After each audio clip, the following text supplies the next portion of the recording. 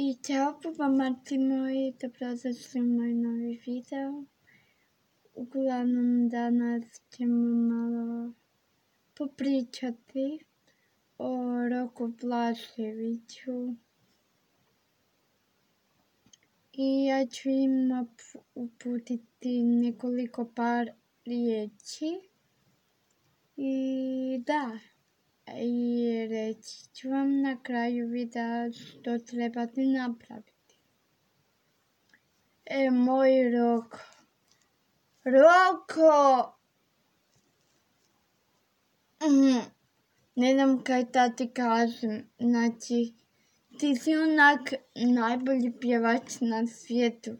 I oprostite ako ovo maknem, ali ti si najsavršeniji pjevač na svijetu. Ajme. Hoću da mi jednom iznenadiš.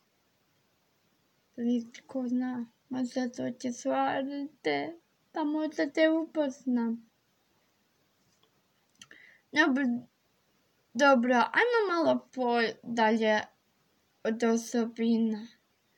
Ali ajmo tvoje pjevanje izdefinirati. Kako mogu to izdefinirati? Znači, tvoje pjevanje. Znači, imaš glas. Znači, ti imaš glas u anđela. Ti imaš nevjerojatan glas i može postići takve visoke note kao high register, ajmo malo po angliski. I imaš tako lijepi vibrato da hoću ja pjevati s tobom, ali onak tako nekako. I kad god tebe slušam, i se dok ovo govorim razplakat ću se. Znači, Rogo, ti si jedno čudo od djeteta i jedno... Znači, ti si moj dijamant. Nalaziš mi se u ovome. U ovome gusaru mi se nalaziš. I pusat za tebe, Roko.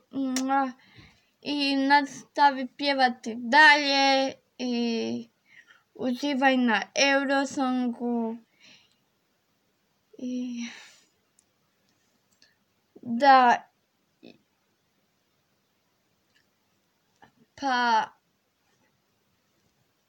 prije nego što završim ove video želim reći o njegovoj izvedbi pjesme Hallelujah. E, kad ja tu izvedbu čujem,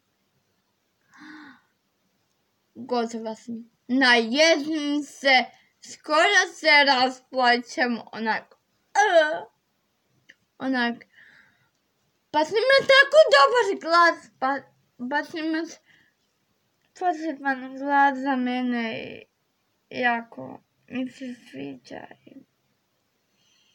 Hvala ti što postoji.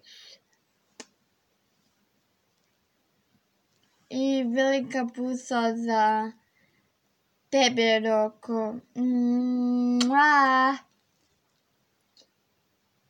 I ako vam se video svidio, like, lajkajte ga, šerajte, pretplatite se na moj kanal. I napišite još dolje u komentarima što mislite. Hoće li proći na Eurosong Roko ili neće. Kad god vidim koji komentar da kaže da neće, o tome hitno posvećujem sljedeći video a do tada vidimo se, moj nerdici, volim vas. Mua.